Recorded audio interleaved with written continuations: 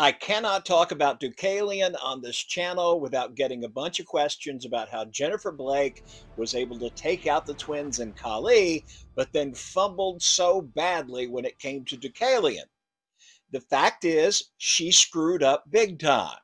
She completely changed the fighting style and strategy that had been working for her and tried to go psychic brute force against Deucalion. Let's take a look at Jennifer's successful fights.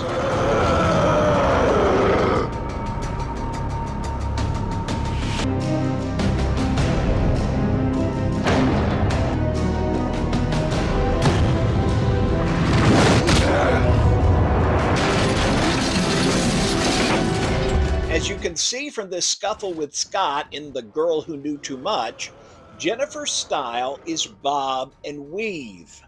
Avoid all contact with your opponent until you see an opening and then strike with all your sacrificed dual super strength.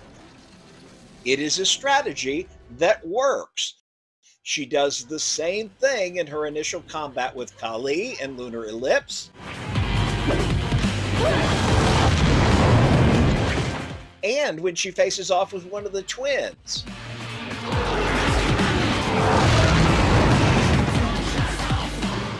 Watch her wait for her opportunity when the twins start to merge.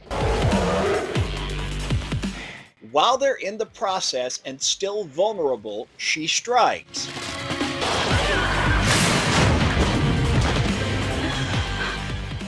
Later, once they manage to merge, it's the same pattern.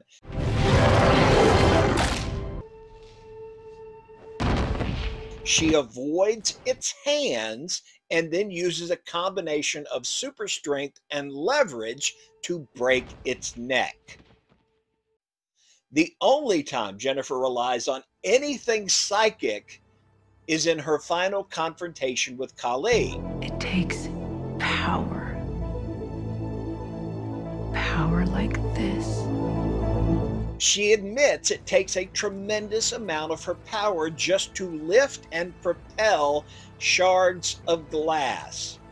Why did she then gamble her one shot at Deucalion on a quick and dirty psychic punch?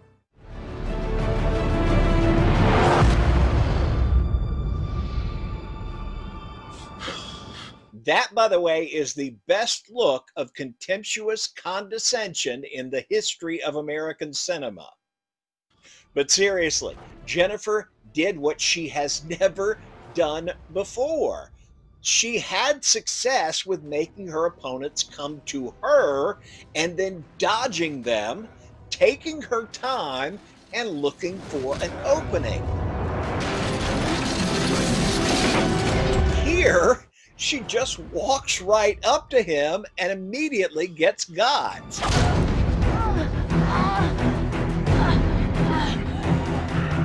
Now, she is able to use her super strength to free herself, but then she makes the exact same mistake again. She goes right up to him.